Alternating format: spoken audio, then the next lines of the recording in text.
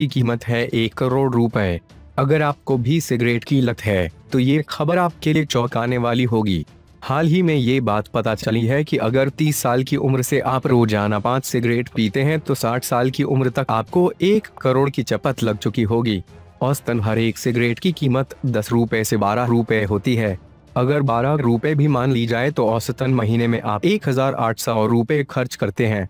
पिछले चार साल में सिगरेट की कीमतों पर बीस फ़ीसदी का इजाफा हुआ है। इसलिए ये खर्च स्थिर नहीं है। अगर सिगरेट की कीमतों में हर साल आठ फ़ीसदी का इजाफा मानकर आने वाले तीस साल की गणना की जाए तो स्मोकिंग करने वाला हर व्यक्ति करीब पच्चीस लाख रुपए खर्च करेगा। सिगरेट पर खर्च की जाने वाली इस रकम को अगर नौ फ़ीसदी रिटर्न के साथ आंकलन किया जाए तो 30 साल में ये रकम 70 लाख होती है। अंग्रेज़ी अखबार टाइम्स ऑफ़ इंडिया के अनुसार सिगरेट पर खर्च की जाने वाली रकम का दूसरा पक्ष मेडिकल ट्रीटमेंट है। स्मोक करने वाले व्यक्ति द्वारा मेडिकल खर्च में अगर 12 फ़ीसदी की बढ़ोतरी के साथ महीने में चार सौ रूपए खर्च करने पर 30 साल में ये रकम करीब 11 लाख होती है। अगर सिगरेट पर खर्च की जाने वाली इस रकम को अगर नौ फ़ीसदी के दर से निवेश करने पर करीब 26 लाख रुपए मिलेंगे।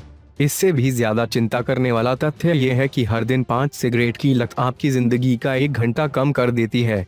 24 साल स्मोक करने पर आप अपना एक जन्मदिन मनाने से वंचित रह जाएँगे।